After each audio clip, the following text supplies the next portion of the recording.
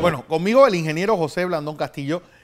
Tema del día, obviamente, huelga magisterial y lo más raro de todo, ese anuncio de encuartelar a la policía no crispa todavía más el ambiente. Ingeniero, bienvenido. Buenos días, Fernando. Buenos días a toda nuestra audiencia.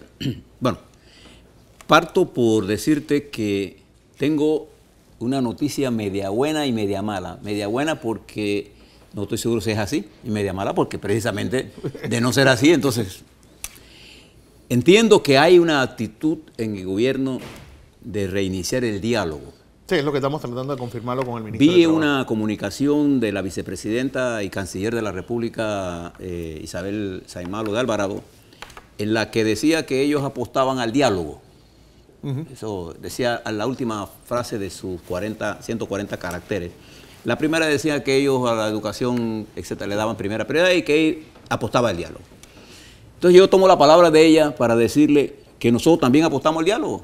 Ojalá, ojalá el gobierno hoy, con toda la comisión, se reúna con los, maestros, con los, eh, con los maestros y profesores para enrumbar esta discusión. Yo, yo aplaudo, impulso esa posición del diálogo. Y ahora le voy a explicar algunas razones por las que estoy cada vez más convencido de que eso es urgente. Pero a su pregunta, es un procedimiento operativo normal. Lo que los militares o policías llaman un PON, procedimiento operativo normal. Que cuando hay manifestaciones y organizaciones de, de movilizaciones nacionales que tienen un nivel de confrontación, el manual de procedimientos operativos establecen que todo el pie de fuerza debe estar en estado de alerta. Eso es una cosa normal. ¿Con qué objetivo? Prevenir a que no las manifestantes no sean atacados por otras fuerzas y dos, que esas fuerzas eh, manifestantes tampoco sobrepasen eh, la, eh, el derecho o la institucionalidad. De manera que, desde el punto de vista operativo, yo no le veo ninguna eh, sorpresa a que las fuerzas públicas sea puesta en alerta total. Eh, si la filosofía es atacar, entonces ellos pagarían el precio, pero creo que es preventiva. Lo que sí me llama la atención es decir, de ser cierta la comunicación, porque ahora bien, estoy también una negación de que este, este documento existiera, que una orden de esa, de esa se mande por, por un memorándum, porque eso es un procedimiento operativo normal. Cuando ocurre eso, eso ya, eso no hay ni que comunicarlo. Eso es una cosa que hay que hacerlo automáticamente porque está dentro del estatuto que conforma la fuerza pública. ¿Y por qué se moviliza la fuerza pública? Bueno, para tener, eh, proteger a los que protestan, para proteger a la población de que los que protesten no hagan vandalismo. Eh, la movilización en contra de alguien, en este caso, está dada por el mando superior. ¿Quién es el mando superior de la policía? Hombre, el presidente, de la, República, el ministro de Seguridad y el director de la policía. Pero en realidad en Panamá esto es de pitcher a catcher. Es del, policía, del director de la policía al presidente de la República. Claro, que como estamos en el mundo de las comunicaciones modernas, todo lo que se haga ¿no sí? Se publica. No sé si la nota es eh, oficial, no sé, no me conta. Eh, de serlo así. Sí, sí, yo lo confirmé con, De serlo así, me parece innecesaria. Primero porque, vuelvo y te reitero. Este es, que es la primera vez que yo veo que una nota de este tipo trasciende al, Es decir, que la sociedad se da cuenta de este encuartelamiento. Bueno, porque primero entiende que la policía no está ajena a la lucha social que hay en la sociedad. Claro. Y me imagino que alguien de la policía si esa nota es cierta, la filtró. De otra forma, como Yo lo que, le, lo que le digo, ingeniero, es que yo creo que este es un añadido eh, a una situación ya tensa de por sí.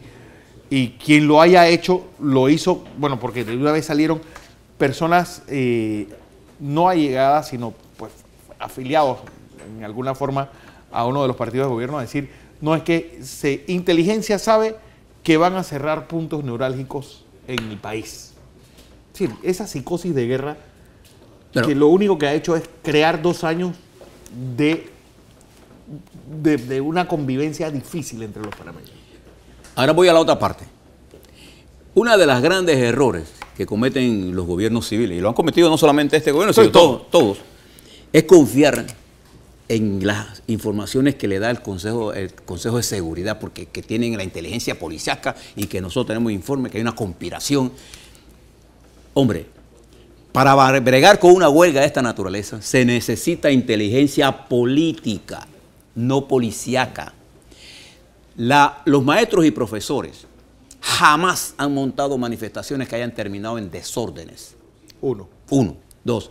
Se trata de una organización que hoy tiene un elevado nivel de coherencia y de cohesión. Es lo que iba a decirle, porque creo que hacía mucho tiempo que maestros y profesores no estaban sentados todos juntos tras una misma, un mismo fin. Sí, porque la inteligencia política carece de un conocimiento, bueno, la, inteligencia policial carece de un conocimiento filosófico eh, y, social de cómo se dan los movimientos políticos en el país. Por ejemplo, en este momento, la estructura política panameña, partidaria, está al margen de esta huelga. Y no porque quieran, sino porque están enfrascados en luchas internas que los alejan de la sociedad. De manera que esta es una lucha gremial. Y yo he visto las manifestaciones en todo el país y he tomado, he pedido a las diferentes provincias donde tengo amigos que me filmen y me manden para tener la apreciación de lo que está ocurriendo. Ayer en la manifestación aquí en la Contraloría General, que ellos se sorprendieron por la capacidad de movilización y mira cuántos miles de, educadores se movilizaron sin ninguna mayor, nada más que al llamado de sus dirigentes. De sus dirigentes. Frente a la Contraloría, las consignas estaban subiendo de tono. Y la justa termina estaba la cosa ya. Ya, ya, ¿por qué? Porque en la medida en que, porque el discurso incendiario de los días que precedieron a este, a este lunes, era evidente que eso iba a ocurrir. ¿Qué inteligencia policial yo necesito para saber eso? Lo que necesito es una inteligencia política para manejar este tema. De manera que yo descartaría toda la información de inteligencia esa, de la agencia de seguridad, para dejarla aparte y mirar el problema político. Los problemas políticos, señores, se resuelven políticamente. O sea, aquí hay un problema gremial con implicaciones políticas. Bueno, resolvámoslo. Por eso aplaudo el llamado que ha hecho la señora canciller y vicepresidenta de la República apostando al diálogo. Pero yo siempre le digo a los televidentes y a nuestros que nos escuchan que usted nunca mire lo que dicen los políticos, mire lo que hacen. Ojalá hoy, hoy, el gobierno llame a todos a, negociar y que la huelga continúe. No, no veo ningún problema en eso. Y, que resolvamos el problema, porque eso da un, sentido de paz, de, lo que necesitamos. Necesitamos poner, echarle agua a la candela y no echarle gasolina. Entonces, eh, moderen el lenguaje. Yo no le voy a pedir a los maestros o profesores que moderen su lenguaje porque ellos no tienen más nada que hacer que eso. Pero es el gobierno el que tiene que mostrar sensatez en los momentos de crisis. Y el gobierno debe pensar en el conjunto, ¿no? Uno, ¿para qué, tiene, para qué uno nombra un presidente, Fernando? Para dormir tranquilo. Para que el presidente se cargue de trabajar y yo pueda dormir tranquilo. Pero si él no hace lo que, que debe hacer y el país se, polariza, entonces yo no duermo tranquilo. Entonces eso es lo que está ocurriendo en este momento. Y fíjate, eso me lleva inmediatamente al siguiente punto. No tengo las láminas porque no fue esta mañana que vi los, números de la encuesta del señor Neira que se publica en el Canal 2, voy a decirlo. Claro, eh, TV No Ministerio del Capital. Exactamente. Eh, y yo lo hago, yo, le hago, mañana le, prometo que les traeré la, la, gráfica. Pero le puedo decir con anterioridad. ¿Qué dicen los números que yo vi ayer, esta mañanita? Indican que en el índice de gestión del presidente está súper bajo. Pero la gestión del gobierno, con apenas 32 y 59, está indicando un índice, de, un índice de gestión que se obtiene restando lo positivo de lo negativo y en este caso es restando lo negativo, que es mayor, entonces se le pone el menos porque es una resta algebraica, es de menos 17. Estamos llegando a un punto de la falta de gobernabilidad. Y la, se mantiene el nivel bajo, aunque hay un punto, como se mantiene dentro del margen de error, eh, podemos decir que la evaluación es igual. Ahora, los números siempre se dan en un contexto. Esta huelga se prolonga y se suman más ingredientes a la preocupación nacional y esto se va a desplomar del todo. Por eso es importante Que, y fíjate el índice de transparencia del gobierno. Subió dos puntos. Que ahí es donde yo digo que las cosas se explican en un contexto. ¿Cómo se explica que la transparencia baje? Sí, la falta de transparencia sube. La falta de transparencia sube. O la transparencia baja, cualquiera de las dos cosas está bien dicha. A niveles tan históricamente altos la falta de transparencia y el, ma- y el gobierno mantenga su nivel de aprobación. Siendo la falta de transparencia la variable que más incide, eh, con un nivel de correlación de punto 98, lo acabo de hacer antes, punto 92, perdón. Punto 92. Si subió, debió subir, bajar el, el- el índice de, de aprobación del presidente. Ese- esa es la correlación. Eh, así que se mira las encuestas en su integridad. Cuando no, no tienen consistencia interna, entonces uno tiene el derecho a dudar. Y como, como, como analista político y como hombre de ciencia, yo le puedo decir, cuando yo tengo dudas, ya no tengo dudas. ¿Eh? Cuando yo tengo dudas sobre un número, ya no tengo dudas. Simplemente no lo uso. No lo. ¿Entonces? Pero lo, indique- lo que está indicando hoy esta encuesta y otras encuestas que he visto es que hay una preocupación en el país con la actual dirección del gobierno. Entonces, ¿cómo debe el gobierno actuar frente a este tema? Políticamente. Buscar los mecanismos de comunicación. No está funcionando la comunicación entre el gobierno y su pueblo. Fíjate, por ejemplo, el impacto negativo que tuvo en las redes sociales que el presidente y su Consejo de Seguridad estuviera viendo un juego por allá por- mientras estaba aquí la huelga que hoy, una huelga, me- una huelga. eh, hoy tiene al país en ascua. Dentro del paquete de problemas en su conjunto. Esas son las cosas que uno tiene que mirar cuando maneja la opinión pública. No después eh, echarle la culpa a los medios que estamos hablando mal de- del presidente. No, no, no. Nosotros aplaudimos aquí las cosas que están bien hechas. Me decía Rack, conversando con él esta mañana, que lo- el presidente este Varela y todos los demás debieran darle gracias a los carica- caricaturistas, porque son asesores gratis. Si el gobierno viera la caricatura de Rack hoy y entendiera el mensaje, ese es el mejor consejo que un asesor Le puede dar. le puede dar al presidente. No, no provoques la ira de tus adversarios temporales porque tú eres el jefe. Y no te amparen la policía para resolver problemas políticos. Eso se lo está diciendo un cari- ca- caricaturista que no le cobra nada al gobierno. Esa tal vez es la falta de, de, de tener un jefe de Estado. Alguien que sea la última palabra en todo lo que es el día a día del gobierno. Pero más que jefe de Estado, usted sabe que un presidente debe tener a su lado no gente que, que lo complazca, gente que tenga la entereza de enfrentarlo cuando se equivoca.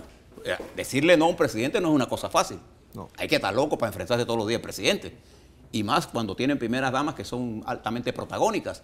Entonces, yo creo que el presidente Varela debiera tener un equipo político que pueda debatir no sí, debatir, confrontar las decisiones que toman. Lo que hicieron el fin de semana de eh, echarle gasolina a la confrontación, a mí no me cabía, lo, lo- lo habíamos hablado aquí, iba a incendiar la pared y de hecho La incendió. la incendió. Y las manifestaciones en todo el interior son manifestaciones que tienen peso. Considerable. Y en la medida en que esto siga así, las frustraciones de otros sectores se van a sumar. Por ejemplo, ¿qué pasaría en Chiriquí si a la movi- al movimiento de los maestros se unen los productores agropecuarios que tienen miles de cosas que reclamar? Con los indígenas. O se reúnen los indígenas. Entonces vamos a tener un problema. Entonces es mejor desactivar esta acción buscando la solución. No me pregunte cuál es la solución, porque para eso ustedes ganaron las elecciones, para resolver el problema que ustedes se iban a enfrentar. Pero no se va a resolver eh, este problema con confrontaciones. Y le voy a dar un dato, mis queridos eh, miembros del gobierno. El último, la última proyección del Fondo Monetario que se hizo pública ayer Ayer sí. indican que la economía global va a decaer. Pero tira un órdago a América Latina diciendo de que eh, la proyección puede aumentar. Punto 4. Punto cuatro. Es Para única re- nosotros- Es la única región del mundo que se salva de la Pero racia. para nosotros, para nuestro país, que somos exportadores de servicios y nuestra economía, el Producto Interno Bruto, se, mue- se mueve en un 85% por ese sector de servicios, este dato de la economía mundial Es es, perverso para nosotros. Entonces, eso nos obliga a ser más precavidos en el manejo de la política interna para fortalecer nuestra política externa. Porque si el país sigue siendo presentado, como lo vi esta mañana, ya con las noticias de la huelga, entra en el... En el, En el- en el- en la- en el- de- ha desplazado la noticia positiva del canal de Panamá. Recuerde que esta encuesta tiene la- un poco El halo efecto de la- de la- de- del canal, pero ya se olvidó. Estamos ahora mismo en la confrontación diaria. Entonces, le- mi consejo al gobierno es que el, el panorama mundial se puede estar enrareciendo cada vez más. El panorama latinoamericano no es bueno como era, como era el, el crecimiento que teníamos hace un, hace un par de quinque- un par de cinco, hace un cinco años atrás. Entonces, vamos a tener que ser más creativos, más inclusivos, más condescendientes, más humildes y dialogar más. En crisis es cuando los pueblos esperan que sus dirigentes salgan a explicarles hacia dónde vamos. es cuando Y es en este momento en que el gobierno tomó la decisión de esconderse. Aquí no hablan los ministros. Se están mandando equipos de segundo, de segundo mando a explicar lo que es política de primer mando. Entonces, el país espera eh, una reconciliación. Yo me siento satisfecho, ojalá sea cierto que ese, esa- ese diálogo se va a dar. Ojalá sea cierto que podamos llegar a un acuerdo con los maestros y profesores y sentarnos a mirar un poco más el complejo de El escenario, entorno. porque vienen eh, eventos políticos. Viene la convención panameñista, No, la elección de la delegada. viene la elección delegado el 31 de julio del PRD, viene la- la- la- la- las elecciones internas en cambio democrático, va a haber una polarización política No, y viene también ya el cierre de libros del, del FAT. y se, con y- 57 mil y personas. se agota, se agota la estrategia de presentar al gobierno anterior como el responsable de lo que sucede hoy. Hoy ya el gobierno del presidente Varela tiene su propia historia. Ya pasaste el quinto inning. Y esa es la historia que el cuenta. juego. para- exactamente. Ya tú estás en el juego, en el- en el- ya pasaste la mitad del juego. Ahora, gana o pierde, es tu Tú. juego. Con eso me quedo. Gracias, ingeniero Blandón.